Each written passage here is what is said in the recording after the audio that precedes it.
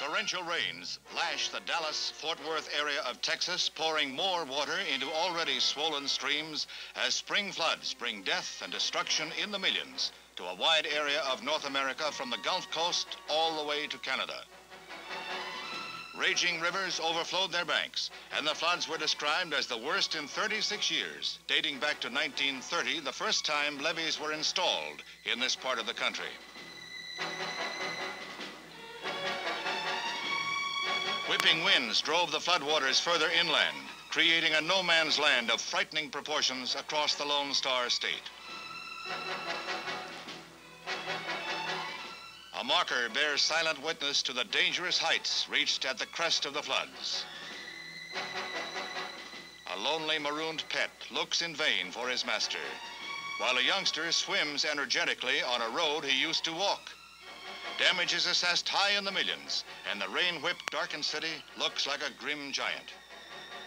One day, the ceaseless downpour dumped three inches of rain on Dallas in two hours, and power failed in various sections of the city, leaving some three quarters of a million people without light, heat, or communications, a crippled metropolis. In Canada, meanwhile, a combination of melted heavy winter snows, ice jams, and swelling streams sends the Red River over its banks, flooding out some 800 homes in Winnipeg, Manitoba.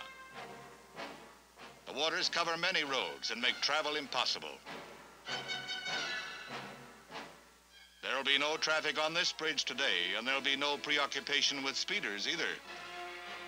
Winnipeg citizens, educated by a disastrous flood in 1950, made careful preparations for this one, including the use of polyethylene plastic sheeting, in which houses were actually wrapped to make them waterproof. Sandbags were also stockpiled and dispatched to danger points along the river dikes and flooded areas.